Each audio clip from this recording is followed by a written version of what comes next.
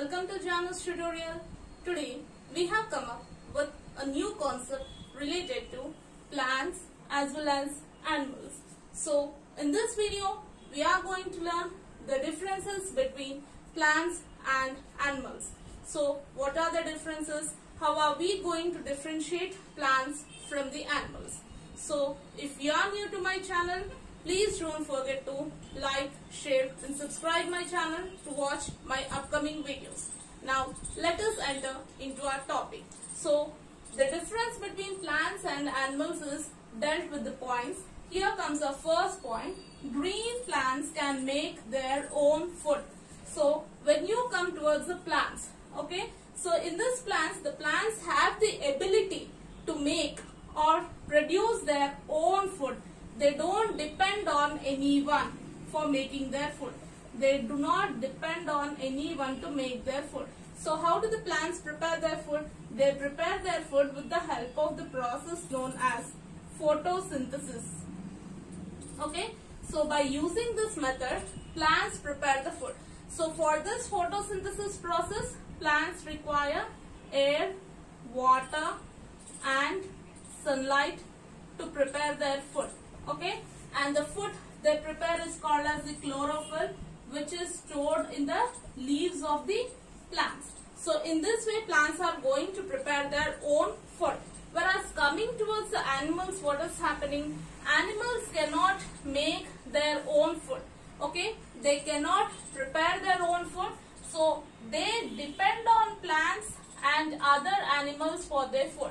So the animals are going to depend on plants or well as animals for preparing the food. Means in the previous videos I have made some videos regarding herbivorous animals, carnivorous animals and omnivorous animals.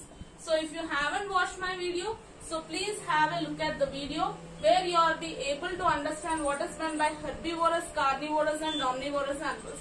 So because this uh, video will be clear for you if you watch it. So the Animals which depends on plants. I gave the examples in that video. So which are nothing but the herbivorous animals. Okay. And which depends on the other animals. Carnivorous animals. So they cannot prepare their own food. They depend on someone else. Either the plants or the animals. And coming to our second point.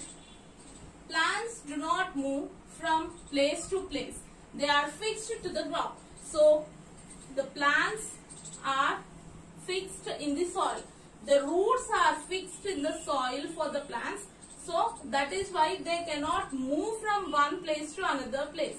So movement is not there in the plants. Whereas when you take the animals, animals can move from one place to another because they require the food, water and shelter. So for this purpose, animals will be moving or wandering from one place to the another place. Plants respond to sunlight, water and so on. Some plants respond to touch. So here plants respond to sunlight, water and so on is nothing but suppose if you stop pouring water to the plants for a week, what will happen? You can see the plant is going to die. So there is some response from the plants depending upon the sunlight, water and something else. Even if the sunlight, if you are going to stop it and if you are going to put it in a dark room. See what happens to the plants. So they are going to respond in a different way. And some plants respond to the touch. So when you touch some plants, so for the touch also they are going to respond. For example, you will be having touch me not plant. Okay. And also Venus flytrap. These are the examples of plants they are sensitive to touch. When you touch them, you can see the leaves are going to close. Okay. So, they are sensitive to touch also. Now, when you come to the animals, what happens? Let us see. Animals respond to their surroundings with their sense organs. So, how do the animals respond? With the help of the sense organs. Means, if they listen, if someone is going to come, for example, a hunter is going to come, so they try to listen with their ears or else if they are going to look at the human beings, they try to run away from that place. So they are going to respond with the help of the sense organs by hearing the sounds, okay, or by looking at the persons or watching them or seeing. So with the help of sense organs, eyes, ears, okay, they are going to respond. The next coming to our fourth point, most plants reproduce by producing seeds or spores. So reproduction is possible in the plants with the help of seeds.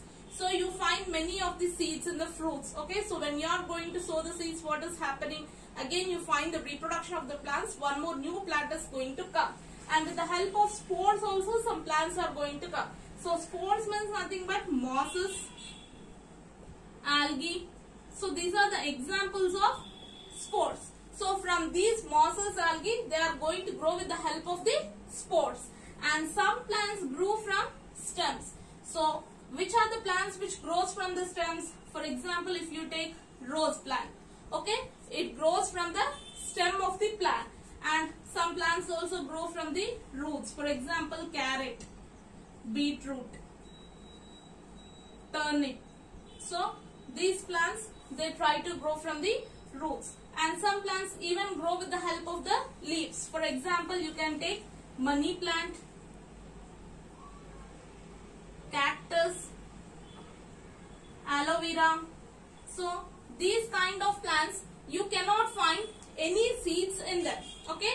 So they does not consist of any fruit. If the fruit is not there, it does not consist of any seed for the reproduction.